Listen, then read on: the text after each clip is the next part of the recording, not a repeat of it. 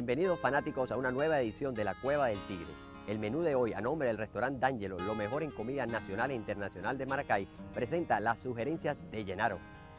Así estuvimos. ¿Usted qué opina? El Tigre de la Semana, correspondencia, videoclip felino, entrevistas. Espero que disfruten el programa. ¿Qué tal, Tigres de Cueva? Bienvenidos a un nuevo programa de la Cueva del Tigre. Esta vez les saludo desde el repotenciado estadio de la ciudad universitaria, sede de los Leones, tiburones, de las dimensiones más grandes para un estadio y por supuesto de las entradas más caras del país. Un lugar en líneas generales muy divertido, muy pintoresco, donde estoy seguro que vamos a ganar, a pasarla muy bien, así que pónganse cómodos, porque lo que viene está muy bueno. Voy a decir que está malo. Y la segunda semana formal y tercera oficial de la temporada dio inicio con los bates felinos en plena descarga. El día domingo nos enfrentábamos a un doble reto.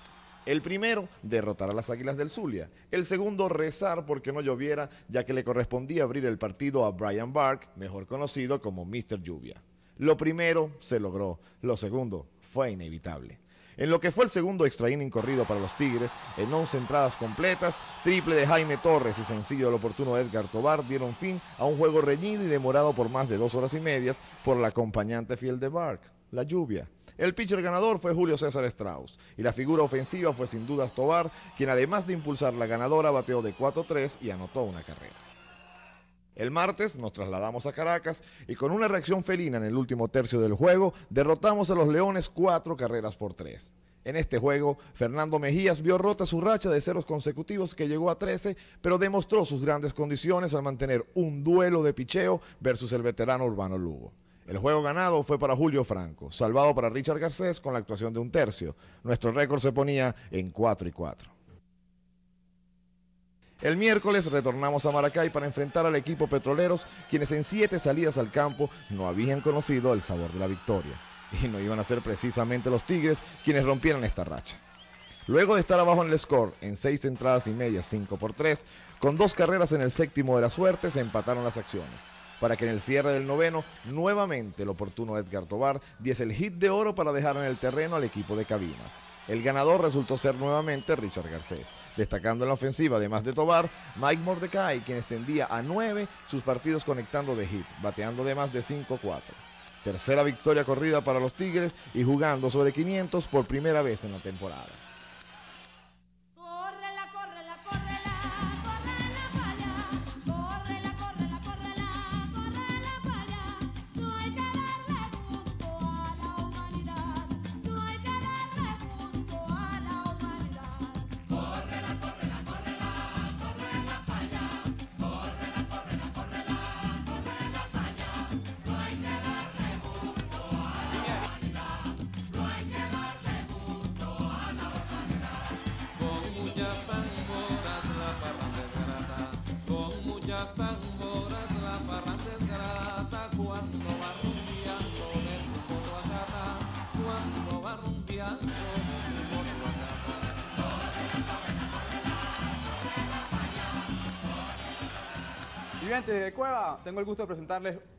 una nueva entrega de correspondencia. Además, darles las gracias por esa gran acogida que ha tenido esta nueva sección, reflejado pues en el montón de cartas que nos han mandado. Quiero invitarlos a que sigan escribiendo, por favor, para que nos digan todo, lo bueno, lo malo, lo que les gusta, lo que no les gusta. De esa forma pueden decirnos y ayudarnos a que hagamos un mejor programa. Y bueno, por otra parte quería decirles que el teléfono no lo pueden seguir usando porque está malo, pero pueden seguir escribiendo. Además es una buena forma de criticarnos. Está muy contento, además Garra, que no lo he visto hoy, creo que estaba en una fiesta de Halloween. Ajá, por aquí viene. ¿Cómo está Garra? Vestido de bruja, debe estar haciendo brujerías para que vean el programa. Mentira, mentira, el programa se está viendo muy bien. ¿Quieres quitarte el sombrero? Quitamos el sombrero, pues. Ok. Entonces, vamos con la primera carta. A propósito, ¿tú sabías la diferencia entre una bruja y una hechicera? Diez años de matrimonio. Ok. Eh, la primera carta dice es de Juan Pablo Duarte y viene de Campo Alegre y dice, felicitaciones por el programa, los apoyamos todas las semanas. Lo único que les pedimos es que ahora que tienen la sintonía segura, no vayan a empezar a repetir y reciclar programas. Y que siempre nos den un programa nuevo y con material fresco toda la semana. ¿Tú qué dices, Garra? Este, ¿Cómo podemos hacer? Mira, Juan Pablo, déjame decirte una cosa. Tienes razón, tienes razón en tu inquietud. Este, generalmente la gente pues empieza a reciclar programas, etcétera, etcétera. Este, Bueno, pero aquí está una forma que podemos, que podemos demostrarte que este programa es fresco, fíjate. Vamos a ver aquí esta fecha de vencimiento. Bueno, como ven aquí dice 11 de noviembre, así que esto es un hit, esto es, está fresquito. A propósito, ¿por qué le tapaste la marca? Ah, porque no están pagando patrocinio. Está bien. Ok, entonces bueno, ya tú sabes que tenemos un programa fresco toda la semana, puedes estar seguro. Sigan escribiendo y nos seguimos viendo con la correspondencia.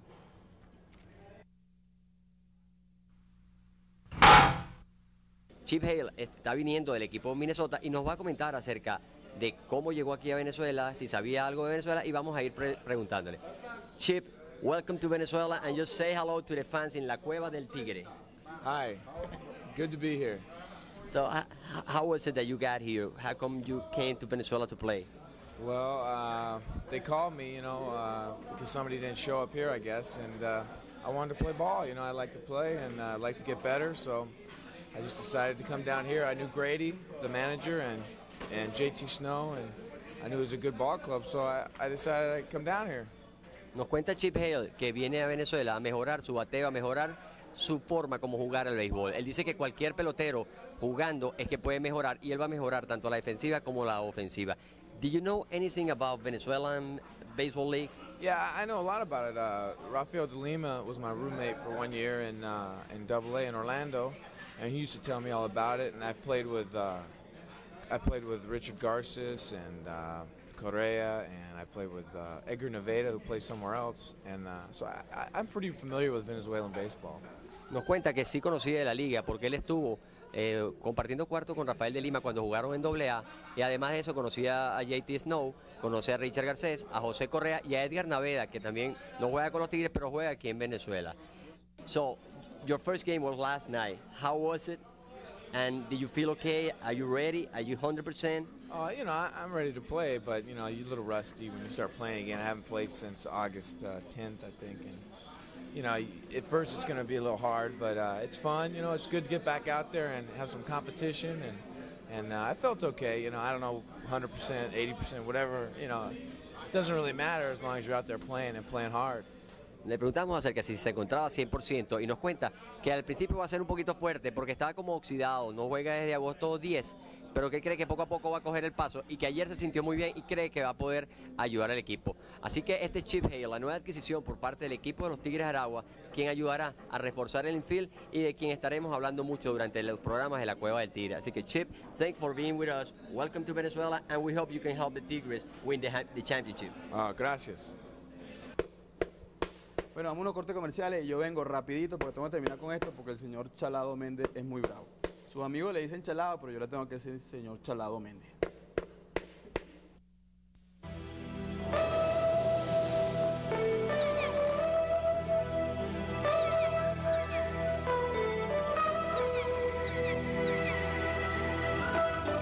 Date un chance refrescante y toma la libertad.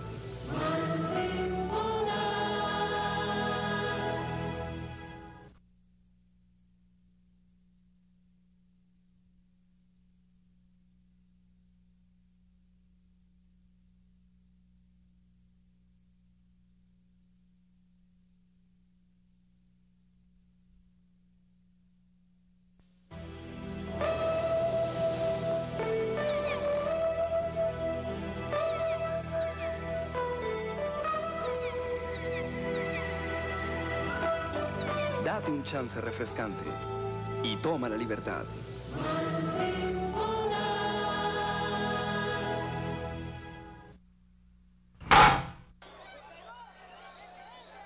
Viernes en la noche. Nos correspondía enfrentar al líder de la división, los Cardenales de Lara. Guiados por los lanzamientos del pitcher importado Jeff Ward durante seis entradas y dos tercios, lograron terminar derrotándonos ocho carreras por uno. La serie particular se ponía entonces dos juegos ganados para el Lara, uno para los Tigres. Ya será en otra oportunidad.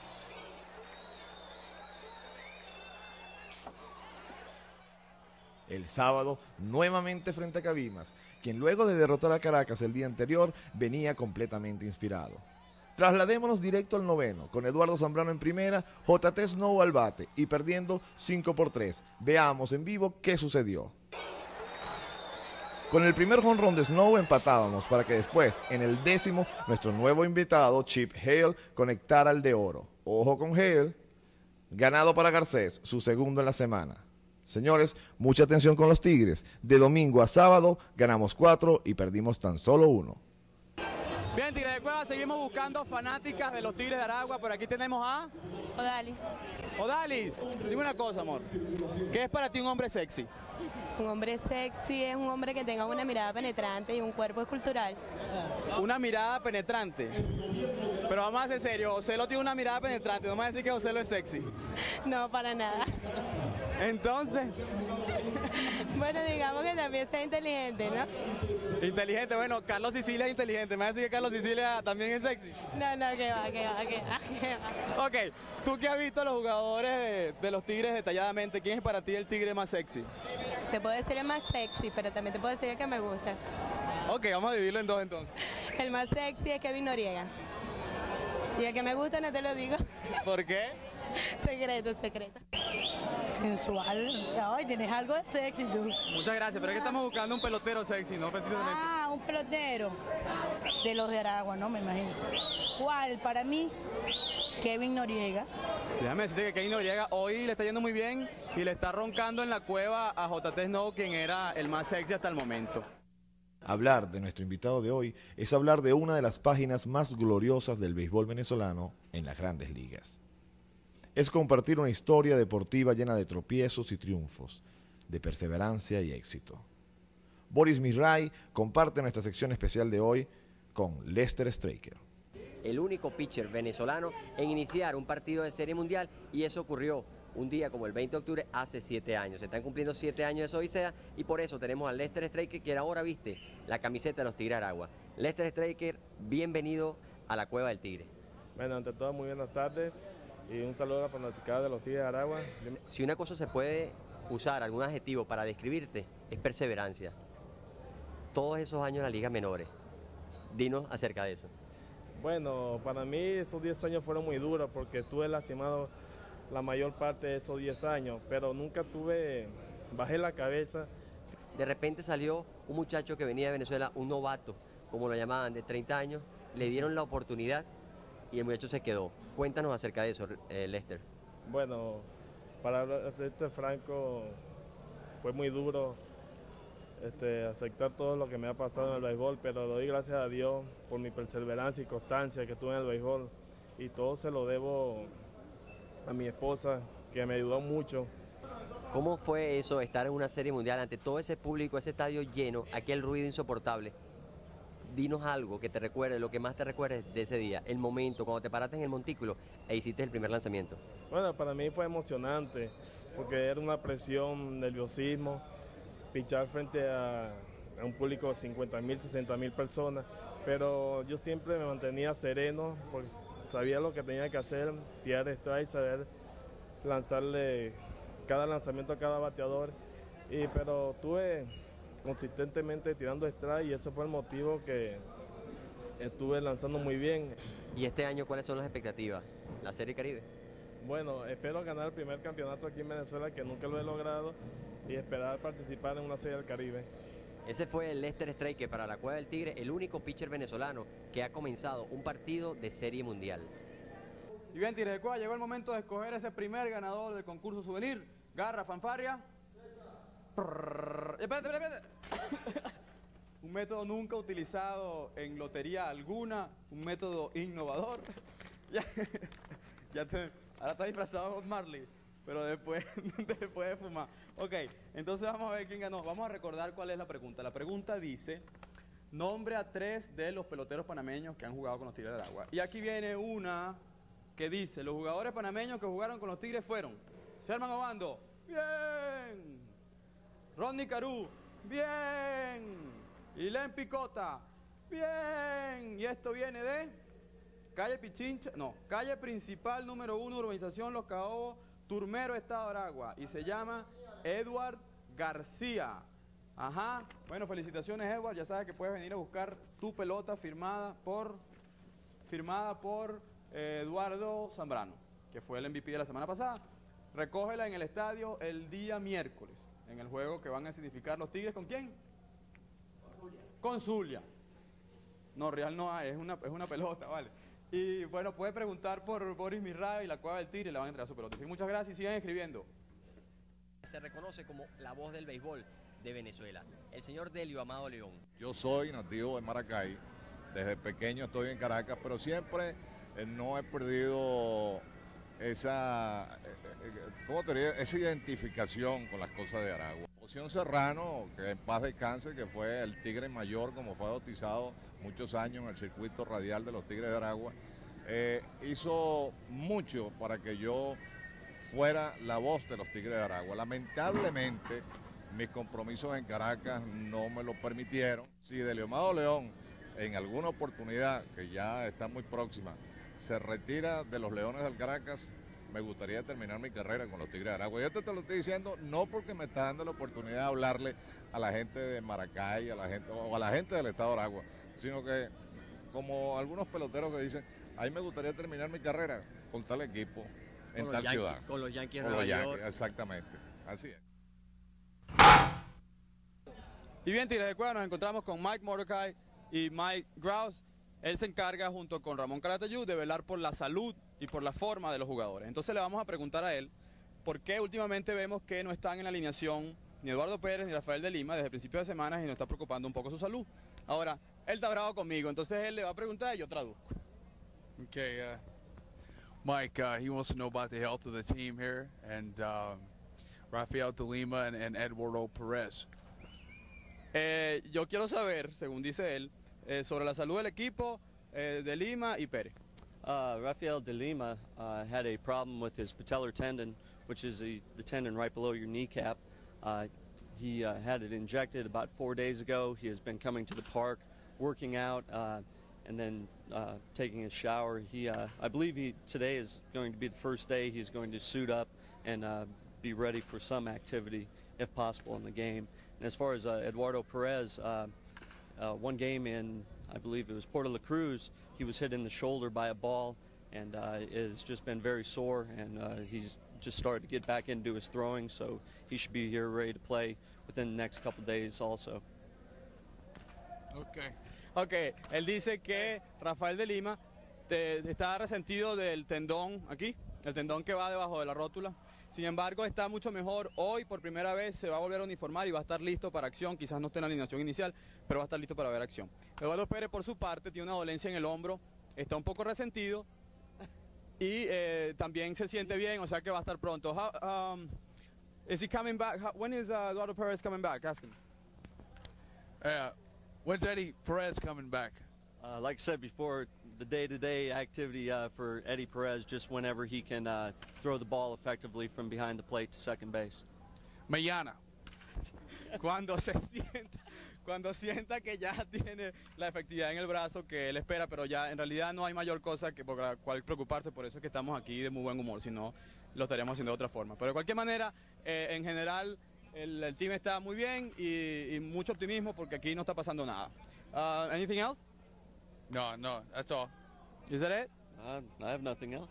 Who won between Colorado and who was it? Nebraska. University of Nebraska, my alma mater, where I went to school. Su alma mater ganó, así que está de júbilo hoy. Muchísimas gracias. Y ahora, nuestra sección, ¿usted qué opina? Con ese verdadero manager de tribuna que todos llevamos por dentro, a nombre de Plastisol, el verdadero supermercado de las bolsas y la limpieza. Pero nos encontramos con el señor René Bejarano. Señor René, dígame una cosa.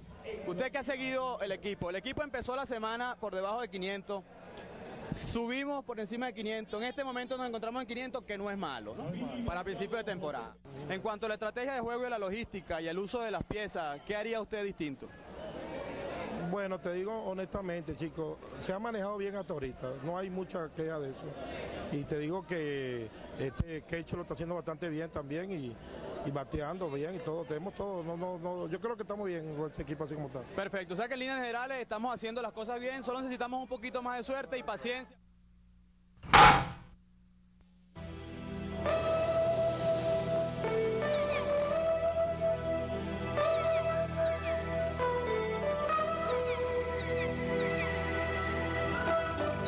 Date un chance refrescante y toma la libertad.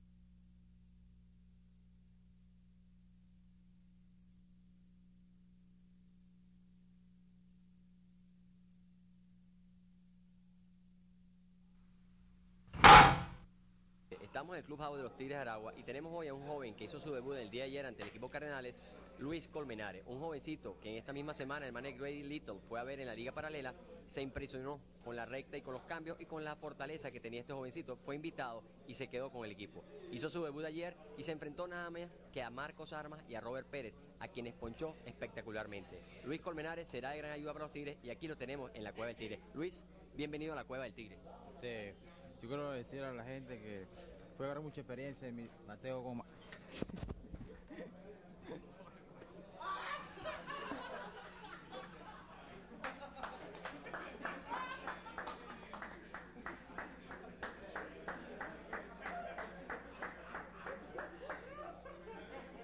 Bueno, Luis, eso viene siendo así como el debut o el bautizo como novato aquí en los Tigres Aragua.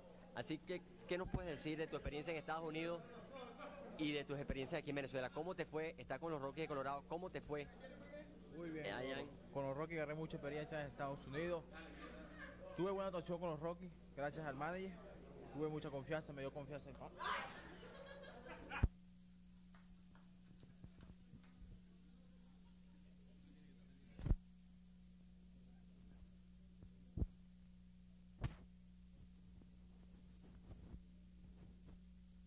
¿Qué, ¿Cómo fue para ti ver al manager Grady Little allá en la Liga Paralela buscando por ti? Bueno, prácticamente él fue a la paralela. No me vio pichando, pero tuvo conversaciones con, el- con Raúl Ortega, con el Cené Pinto mismo él, y con usted mismo tuvo experiencia que no me pudo ver, pero práctic- prácticamente él confió en las palabras de Ortega y de René Pinto. Y esa experiencia ayer debutando ante Marcos Armas y Robert Pérez. Fue excelente experiencia para mí porque nunca vida había pichado profesional, pero nunca le he pichado un, equipo profesional. Gracias a, Mar- a Marco Armas, que fue un pelotero de, de grandes ligas él. Y bueno, mi experiencia fue con Marco Armas y con Robert Pérez, que no fue fácil picharle, pero a pesar de eso, me fajé con ellos y gracias a la confianza del man de, de, de de Aragua. Bueno, confianza que te mereces, mucha suerte y te seguiríamos viendo. Yo estoy aquí relevando por Bori por aquello de la, de la torta. Y bien, vamos a seguir regalando souvenir con la pregunta de esta semana que ya se la vamos a decir. Vamos a ver qué vamos a estar regalando esta semana, Garra. ¿Te vas a seguir disfrazando? ¿Qué? Ah, que vamos a regalar una gorra. Ok, vamos a regalar una gorra firmada por... Ya se está viendo en cámara. Eh, Fernandito Mejía, que además fue el tigre de la semana esta pasada. Entonces, la pregunta de esta semana es...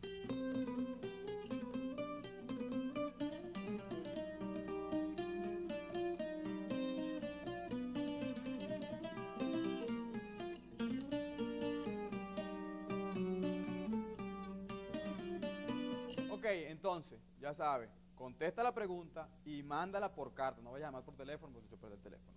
A TBS, la Cueva del Tigre, Zona Industrial San Jacinto Maracay. Y ahora lo que nos espera en la semana a nombre de Dincar, porque lo nuevo de Fiat está en Dincar.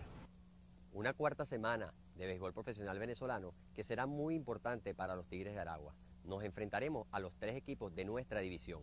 Luego de dos días de descanso, lunes y martes, muy merecidos por cierto, nos enfrentaremos el miércoles aquí en nuestro patio, el José Pérez Colmenares de Maracay, a las Águilas del Zulia. El jueves iremos a Barquisimeto a enfrentarnos a los poderosos Cardenales de Lara en el estadio Antonio Herrera. Para el viernes comenzar una serie de tres partidos contra el equipo Petroleros de Cabima allá en el estadio Víctor Lavalillo. Porque no hace falta que seas bello para que seas sexy. Pero sí que, por ejemplo, una boca. Ah, él es sexy, ¿ok? Él es un hombre sexy. Tú eres un hombre sexy. Muchas gracias, muchas gracias, favor que usted me hace. Ah. Eh, estamos buscando más bien un pelotero sexy. ¿Quién es para ti el pelotero más sexy? Eduardo Zambrano. Eduardo Zambrano. Eduardo Zambrano ha tenido un par de votaciones, ¿verdad? Bueno, ahí están muy parejos. Estábamos hablando de los tigres, no estamos hablando de la gente No, es que a eso vamos, vamos a los tigres, vamos, ya vamos a llegar a ellos. Él es un hombre sexy. Ok, un hombre como Ignacio. Ignacio, préstame la cámara un segundito.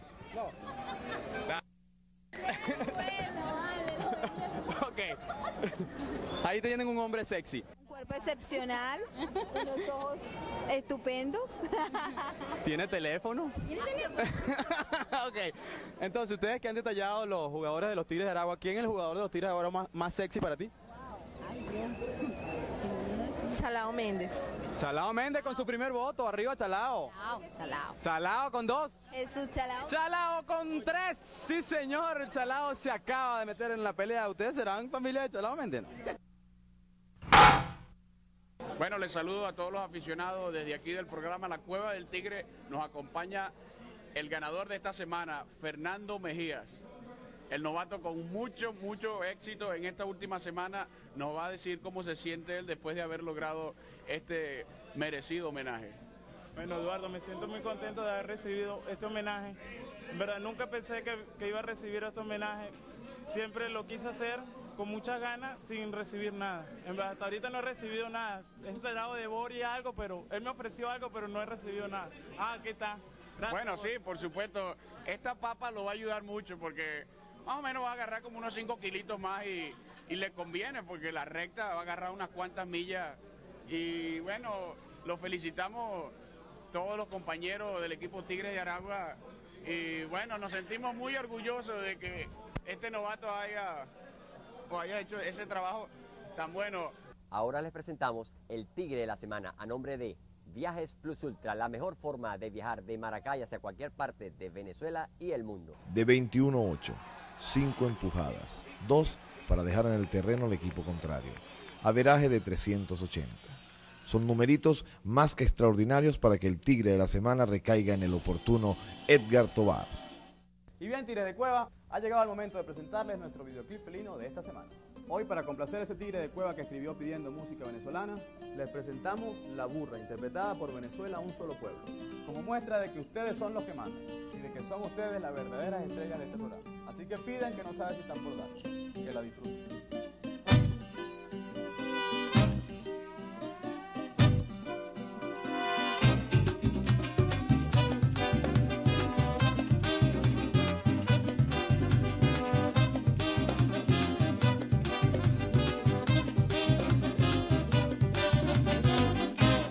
Yo tengo una burra briosa y andadora, yo tengo una burra briosa y andadora, que no se fatiga ya ninguna hora, que no se fatiga ya ninguna hora,